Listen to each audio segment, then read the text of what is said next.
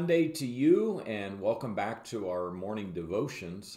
Uh, yesterday was a great day at church, and you know we're seeing more and more families coming back to church, and as they lift the mask mandates and the COVID numbers drop, more people are feeling more comfortable.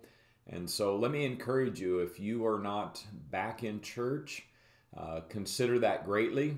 Uh, the body of Christ, the family of God, is, is God's plan for today. Uh, it is how we get strength and encouragement and fellowship with each other. And so uh, find your local church if you're not a part of Orchard and uh, get back in there, be involved, and let iron sharpen iron as you fellowship together with your brothers and sisters in Christ. Today I want to go to 1 John chapter 5. And in this passage, uh, John is defending the understanding that Jesus is the Son of God and that he was truly the Son of God. Uh, the problem was there were some skeptics that were uh, trying to do away with the truth, uh, the truth of God's Word as we know it, that Jesus came in the flesh. And so understanding the whole book of First John, he he repeats two very important things.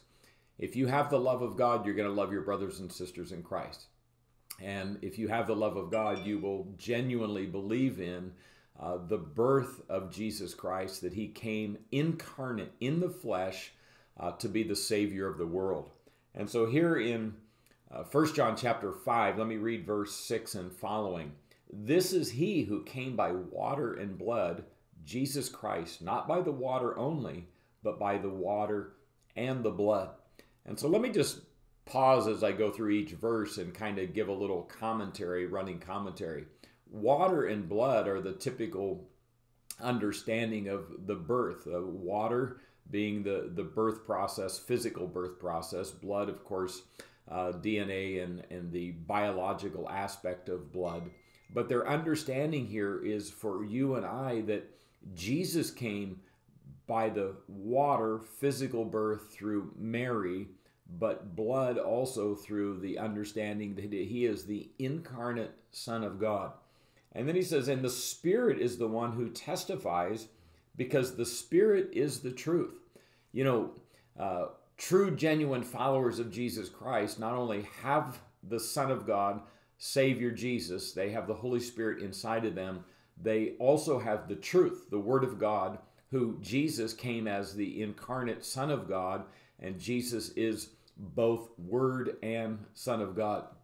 So we have this. Uh, the struggle for us is sometimes this 18 inches between our head and our heart, our soul of understanding, accepting, and believing.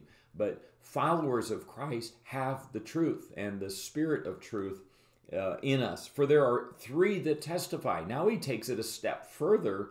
This isn't just about physical birth and the uh, incarnate birth of Jesus, but he also adds the Holy Spirit to this. For there are three that testify the Spirit, the Holy Spirit, it's a capital S in the passage, the Spirit and the water and the blood, and these three agree. Now, notice this if we receive the testimony of men, the testimony of God is even greater you know, if, if someone shares good news, hey, we had a child, we had a baby, we don't doubt that. I mean, there's really no reason to doubt that. But now we have the testimony, water, blood, and spirit, the truth that Jesus Christ came as the incarnate Son of God. He literally physically was born, He literally physically walked on the face of this earth you and I can believe that just as much as we would believe that our aunt or uncle or our cousin or our next door neighbor or our friend at church had a baby. Uh, we would never question, are you sure you had a baby? Do, do you really know that he's alive? Do you, do you have a baby that's existing in this earth? Does he have a documentation? Does he have a birth certificate? Does he have uh, fingerprints? And we would that would be silly to go through all that. And yet it's so silly that people question the integrity of the scriptures and the testimony of not only the water, the blood, and the Spirit of God. The Spirit and the water and the blood, these three agree. If we receive the testimony of men, the testimony of God is even greater, for this is the testimony of God that he has borne concerning his son. You know, God has given us over and over, over the top amounts of evidence that Scripture is true and that Jesus existed. I mean, historians throughout uh, the ages of history documented everything about Jesus and who he was. And there's far more evidence for the truth and the birth and the life of Jesus Christ than there are many of the actual uh, historians or even some of the great presidents of our country. There's way more evidence. And so God confirms that here.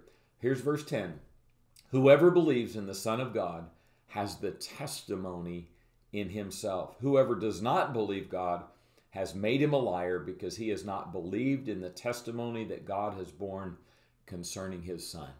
You know, the, the truth is in the, the pudding, so to speak. Uh, the understanding right here uh, those who deny the existence of Jesus, they deny the birth of Christ, they deny the historicity of who Jesus is. The Bible says they don't have Christ. And so uh, we understand where the skepticism comes from. It's an actual unbelief, a disbelief in our Savior Jesus Christ. Well, be encouraged. We have the evidence, we have the testimony. And Jesus is the Savior, and it's why we exist to bring honor and glory to Him, to exalt His name, to lift high the banner of Christ so that other people will see our good works, they will hear the testimony of God, and they will be a part of God's family. Have a great Monday.